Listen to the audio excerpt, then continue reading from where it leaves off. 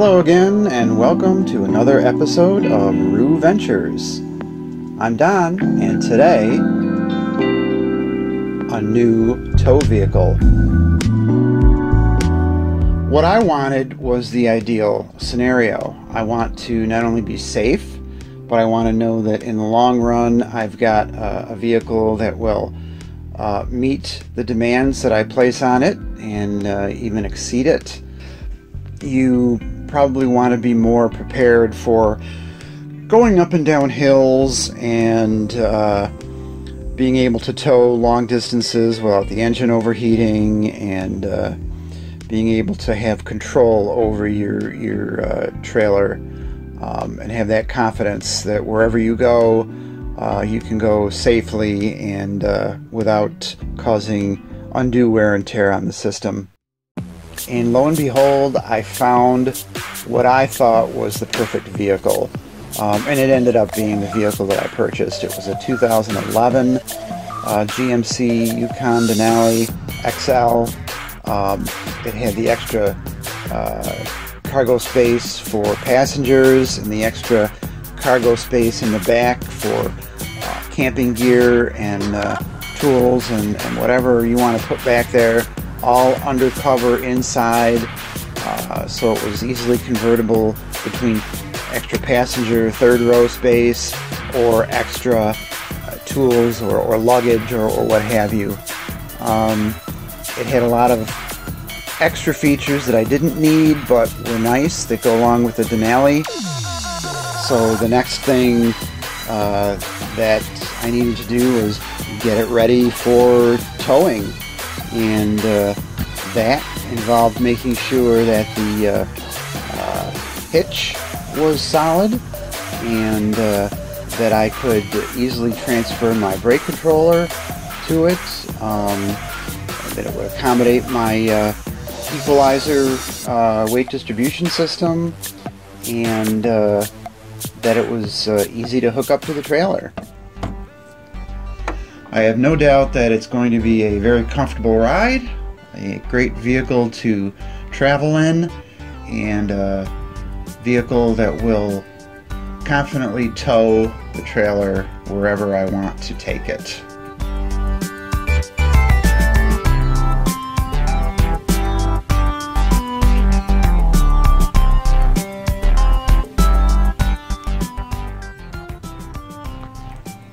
I'll show you here how I hook up and use the equalizer weight distribution system.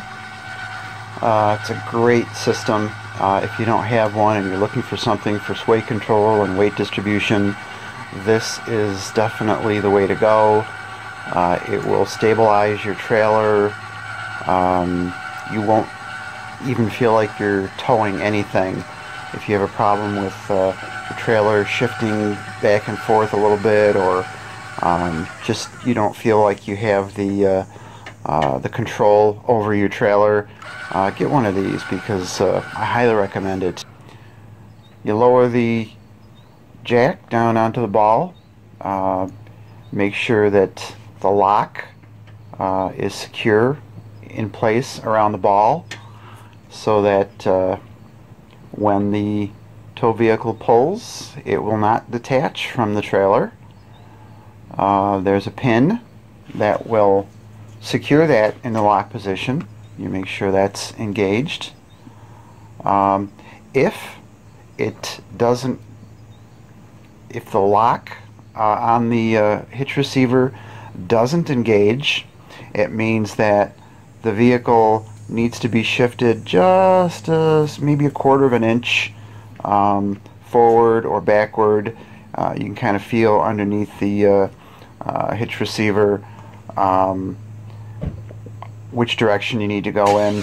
Uh, generally, it's uh, I, I, end up just getting in the car and turning the engine on and just shifting it into drive or reverse um, and just letting up off the brake and that's just enough to uh, push it or pull it uh, in the direction that it needs to go to engage the, uh, the lock on the hitch receiver.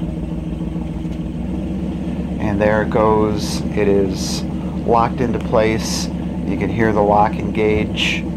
um, then you can actually um, make sure it's in the right position and put the pin through there to lock it in place so that it won't won't let go during the tow.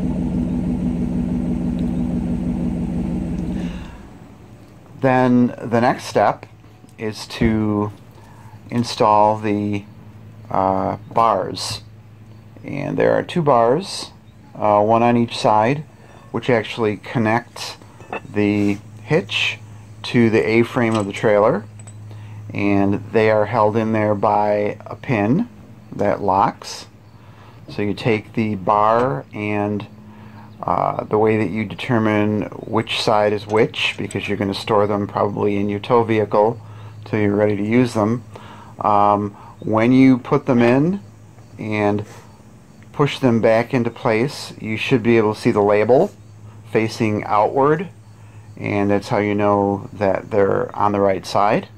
There's only one side that has uh, a recess to uh, push into the uh, receiver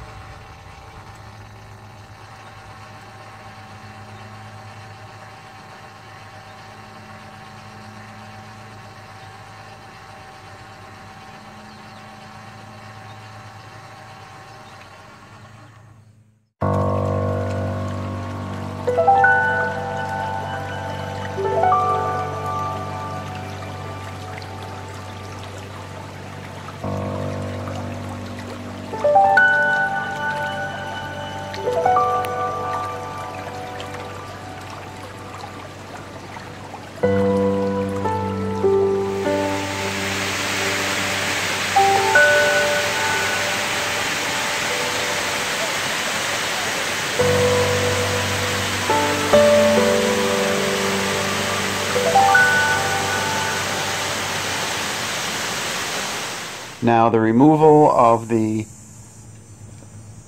uh, sway control weight distribution system is just the reverse.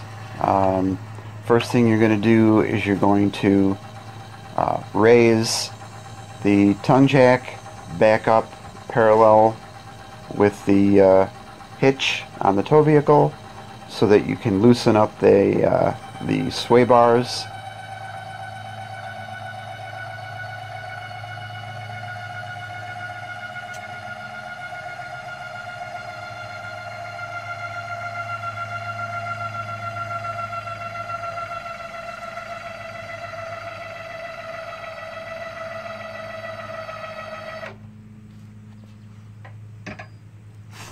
Uh, once they're loose enough, you can actually pull them right off uh, after you unlock the uh, uh the strap on the uh, A-frame and take those right off.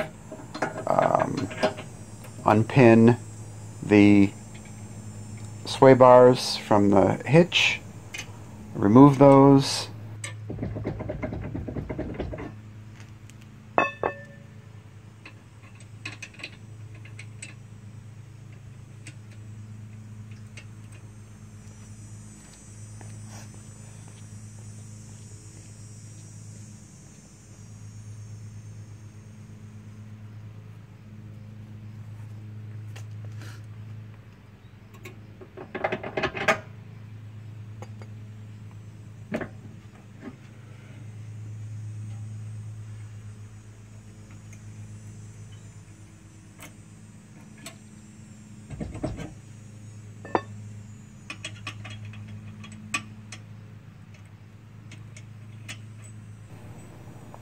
And then lower the tongue jack back down all the way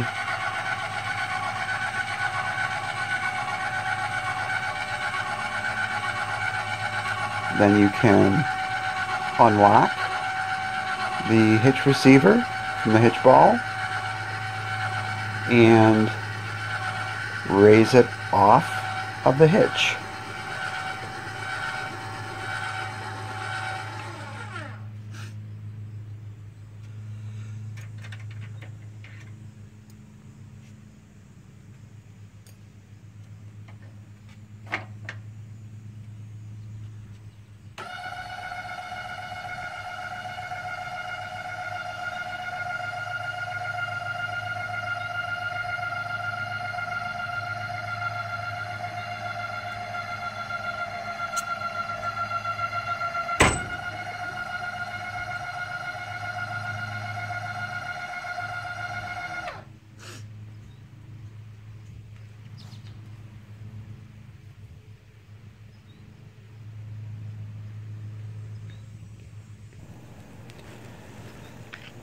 Then when you're setting up, uh, first thing you're going to want to do after you've unhitched is level your trailer.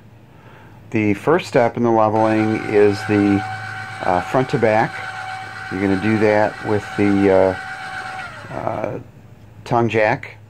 You're going to put the level right on the A-frame and that's going to show you how far you need to raise the A-frame when you're uh, backing into your spot. You want to find a spot that's uh, uh, visually as level as possible, and then this this should be your just your final step to uh, to get it as level as possible. Um, once you've uh, raised the uh, tongue jack to uh, a level position, then you can see exactly how far above ground that put the front of the trailer. Um, sometimes it's a lot higher in the front than the back, or vice versa. Uh, so I, I first I, I, put down the uh, um, leveling jacks just to, if I can't eyeball it easily enough, this will give you an idea uh, of how far uh, you need to uh, build up underneath the leveling jacks. You don't want to open up the jacks uh, too far uh, because then they'll be compromised. Um, if you open them up about halfway, that's about the best support you're going to get. Uh, so I pretty much lower them first and then uh, see approximately how much distance I'm going to need. Um, so it looks like I may need about three of the uh, leveling blocks for my driveway right here. Uh, so then you would just lift the jack, put them underneath, try to center them as best as possible, and lower the jack onto them snugly. You want to give a little bit of, uh, you want it to be a little tight so it's snug between uh, the blocks and they're not going to go anywhere. And that's going to be your uh, left and right, side to side leveling. Then once you have your trailer perfectly leveled, then you're going to lower the steps and adjust those um, accordingly to make sure that your door is going to be able to close.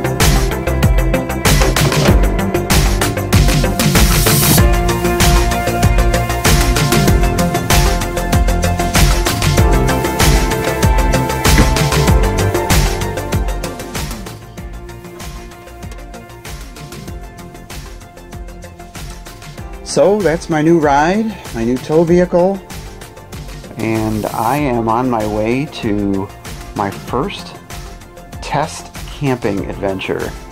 I will be testing out the main components of the camper. I'm going to test out the water, plumbing system, uh, the uh, stove, uh, the appliance, any basically anything that I couldn't do in the driveway, something that I need to hook up to um, some sort of uh, uh, connection in a campground. And uh, we'll see how that goes. Wish me luck and join me for that adventure next. Thanks for watching.